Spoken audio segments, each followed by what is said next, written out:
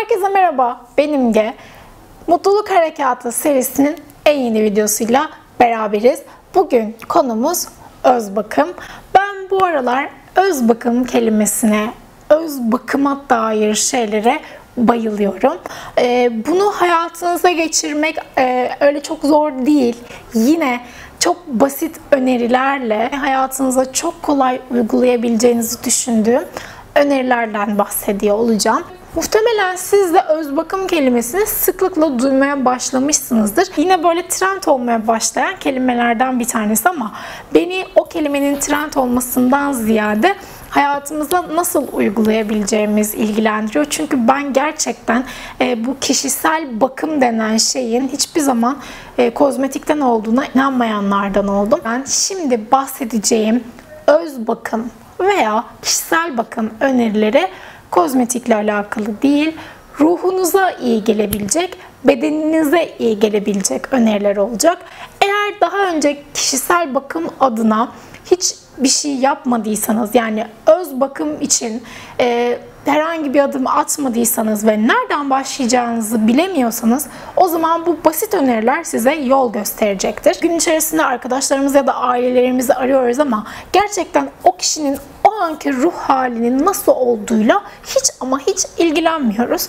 E, o yüzden eğer öz bakım için bir şeyler yapacaksak ve bir adım atacaksak bunun ilki bir arkadaşımızı ya da sevdiğimiz birini arayıp onun gerçekten nasıl olduğunu sormak olacaktır. İkinci olarak yapmamız gereken ve e, yine kendimizde ihmal ettiğimiz, yine rutine bağladığımız için muhtemelen farkında olmadığımız şeylerden bir tanesi 10 dakika gözlerimizi kapatıp dış dünyadan uzaklaşıp derin derin nefes alıp veriyor olmak ve o nefesimizin farkına varmak, o yaşadığımız anın farkına varmak, kendimizin, bedenimizin, ruhumuzun farkına varmak. O düzenli bir rutin haline getirdiğiniz zaman ne demek istediğimi, size ne kadar iyi geldiğini çok iyi anlayacaksınız. Öz bakım denilince yapmanız gereken şeylerden bir tanesi sosyal medyaya ara vermek olacaktır. Bu sizin hesaplarınızı kapatacağınız anlamına gelmiyor.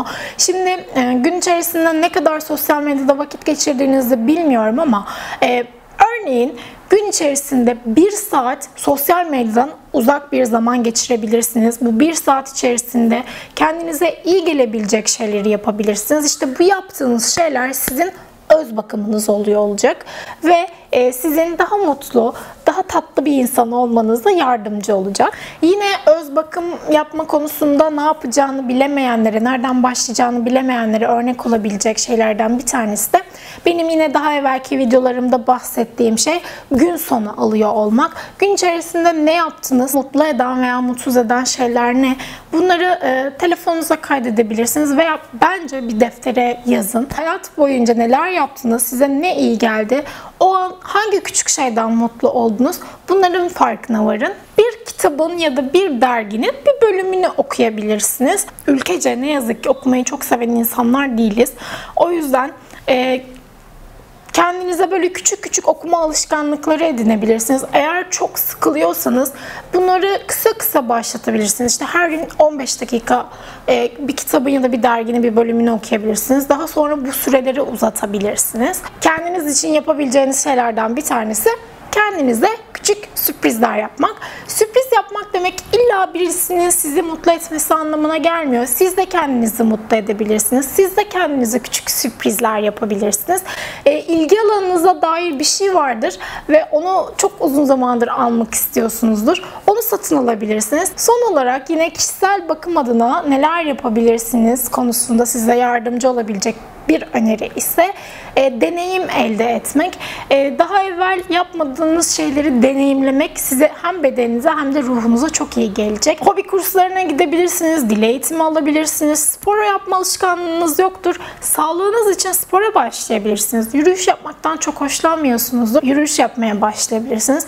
Bu örnekler giderek arttırılabilir. Ee, dediğim gibi sadece burada mesele e, yapmadığınız bir şeyi deneyimlemek ruhunuza iyi gelebilecek bir aktiviteyi deneyimlemek olacaktır. Bugünlük benden bu kadar. Umarım video hoşunuza gitmiştir. Umarım ruhunuza iyi gelebilecek bu basit öz bakım önerileri size de ilham olabilmiştir. Bir sonraki videoda görüşmek üzere. Kendinize çok iyi bakın. Hoşçakalın.